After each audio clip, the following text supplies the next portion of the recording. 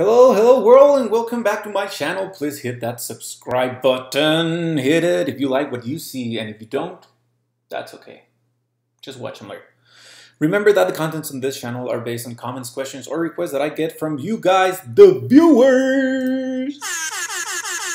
Alright, so the question for today is, how can I test my code with Python's unit test framework and export the test results to a JUnit-like XML report? Okay, so we're talking about test automation in this case, right?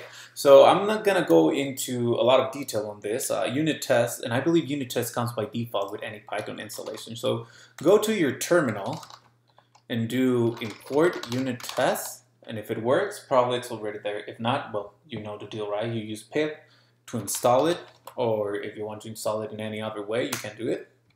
But there you go. We have it. So this, this is a very powerful framework that would allow you to automate test cases. And this can be unit tests or it can be integration tests.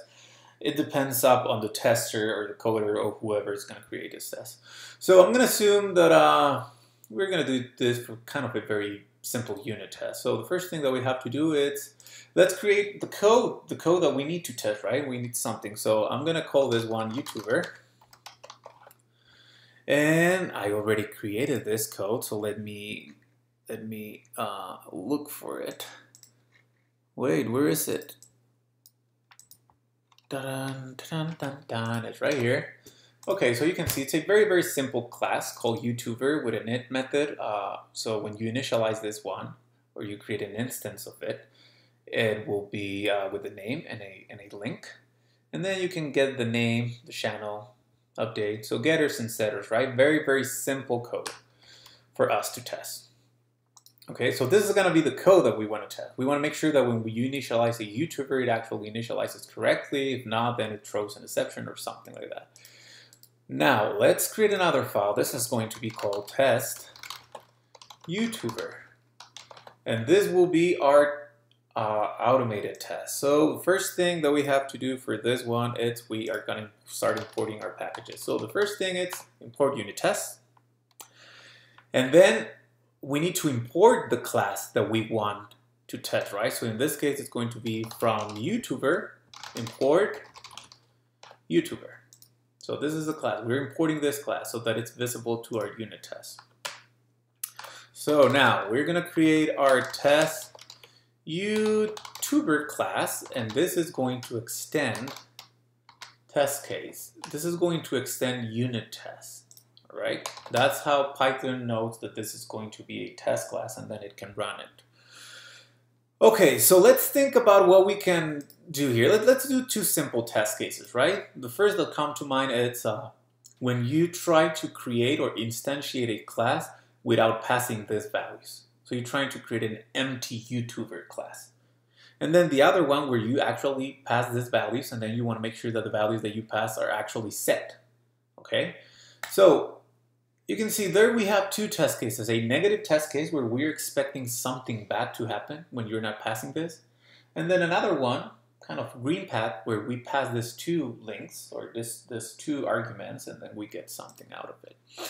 Okay, so let's define our first test. And all the tests, all the automated test cases written under the unit test framework should start with tests. If they don't start with tests, then the framework doesn't know that they are tests, so it, they won't be executed automatically.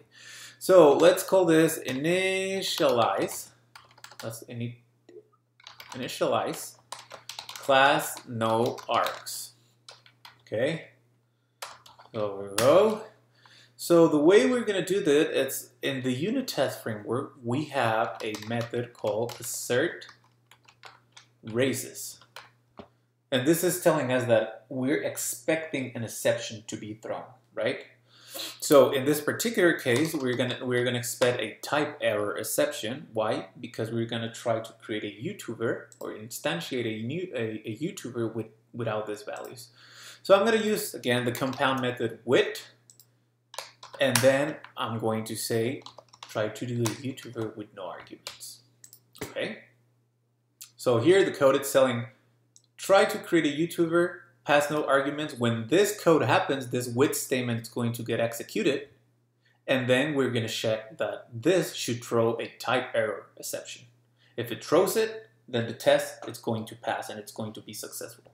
If it doesn't, then the test will fail, and then we have a problem, right? Because this is getting this is this is passing without any any arguments in it.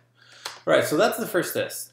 The second one will be test initialize uh, class with args. And in this case, we're gonna do the same thing. We're gonna say YouTuber, it's gonna be equal to YouTuber, the class, and then we're gonna pass the name. The name's gonna be all things automated. And then a fictional channel name, right? Like, I don't know, HTTP, YouTube.com, all, all things automated, something like that. So here we're uh, creating an instance of this class and then passing this to, and then we're assigning that to this variable. All right, so now let's use a method in the framework called assert equals. And this is, let's assert, or let's try to compare two values. If those two values are the same, then pass. If they are not the same, then fail the test case. So in this case, I'm going to say all things automated. So this string should be the same that if I do YouTuber get name. Okay, so this is going to call this method. I mean, I'm initializing here, right? So if I call get name, it's going to return me whatever was set here. Okay, that's one. The next one, it's make sure that the same thing happens, but for the actual link. Okay, and what we're gonna call here, YouTuber get channel name. All right.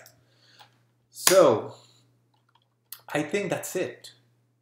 I think that's how you create two, you use the unit test framework to create two, uh, two test cases. Now let's run it, right? So if I right click here, you can see here that it says run Nosetests and I'm gonna run it. Oh, it's just because I don't have the nose model. Okay, okay, that's, that's a different thing. So sorry. So I'm gonna come to my console and then I'm gonna do Python. Wait, let's first see if I'm Okay, yes, I'm in the right directory. I have here my test and my other class. So we're going to do Python M for module. The module is going to be unit test. And then we're going to pass the name of the test class, or actually the test file, without the py uh, thing. So it's just going to be YouTuber. If I click on that one, whoa, really quick. It says it ran two tests in 0.000 seconds, and both of them pass. Nice. That's that's uh, that's really good. So let's see. Let's see how what happens when something fails. Let's see that all things automated two right here, and here we're gonna put two. This one should fail because this string won't be the same as this one. So if I run this, okay, it fails. You can see here the first dot, it's the first test, it passed. Then the second one, it's not a dot, it's an F saying that it fails and that it's telling me right here. Assertion error, all things automated to, it's not equal to all things automated. Cool, so this is working, working as expected. So there you go, that's how you create that. Now, the, there's the question also that it says, how can I export these results? Because you can see that these are printing to the standard output. How can I export these results into an XML JUnit-like report stuff, right? So I don't know if you guys have come from Java, if you have created JUnit test cases, you can see that those get reported in a really fancy XML file then later you can use to create reports and graphs and all that fancy things. Okay, so in order to do that, it's, it's an easy fix. Uh, first, you have to import, I believe you have to import XML runner. XML runner. Again, if you don't have this, then pip install XML runner and that should do it.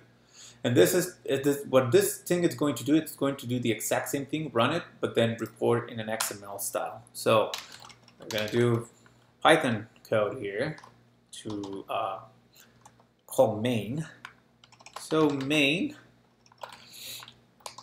and what we're gonna uh, do here is we're gonna say unit test main test runner it's going to be equal to XML runner, XML test runner, and then we should be able to provide an output. Okay, and the output, I'm going to say, uh, just send it in the current directory, right, to a folder called results. test results, something like that. Test results. Okay. And then another option, and I think this are by default, fail fast. You, you can live without this. I mean, let's let's not use those. Let's let's see if we can make it work like that. So there it is. This is that's what I'm doing here. We're just adding the XML runner to our main class.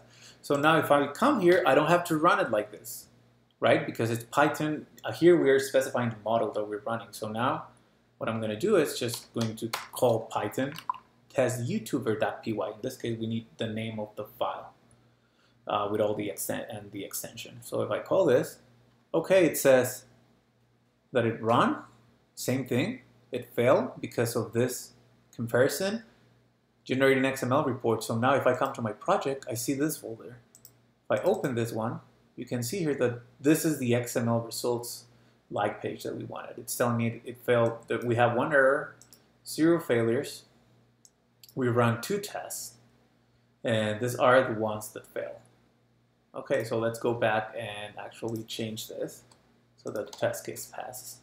So what about if I run it now? Okay, now it's telling me running test. We run two, generating the report. You can see that there's another file generated because it's keeping track of all the runs that you're doing right here. So if we do this, Okay, this time no errors, no failures. Two tests run, and these are the, the, uh, the name of the test cases and from which class it's coming. Okay, so that's it guys. That's how you create an automated test case for this simple, very simple test class. Two simple test cases right here. You can create more tests, like make sure that when you call the update name that it's actually updating the name the way it's supposed to be.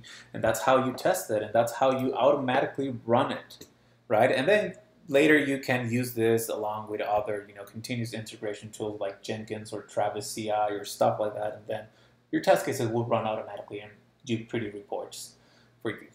Okay, so that's it. Hope this answered your questions, and thanks for visiting my channel, guys. See you next time.